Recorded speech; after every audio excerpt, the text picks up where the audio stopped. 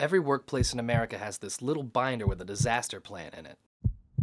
What to do in case of a tornado, or a hurricane, or any other little treat Mother Nature decides to throw at us. I've flipped through this thing a hundred times and come to one conclusion. Of all the scenarios people plan for, nobody ever plans on a freaking zombie attack.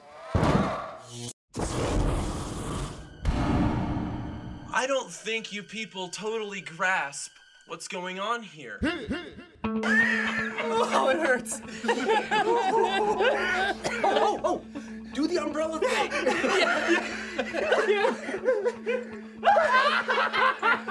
against the wind, against the wind. no way.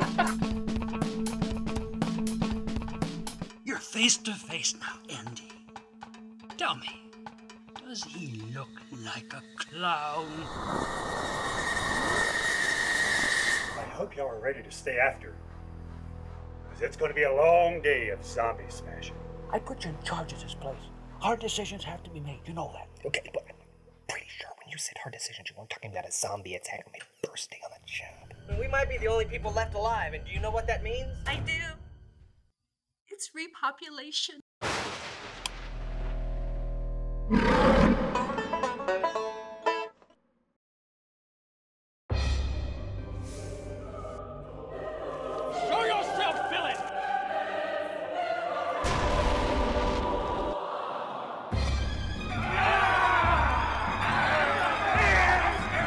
Pirates? Everything's better with pirates. How am I supposed to finish a module based on an adventure if we never finish the adventure? Oh, I'm also playing an elf. What? No, you're not. I don't keep them focused on the story. They're just going to run around looting, killing, and impregnating my entire world. Hey, baby, wanna tune my mandolin? Can't use a lightsaber! He tripped and uh, beat himself to death. What? Five bucks says you're dead again.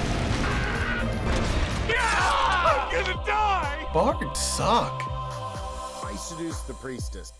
I seduce the priestess. Indeed. He who stumbles around in darkness with a stick is blind. But he who sticks out in darkness is fluorescence. Lose 50 experience.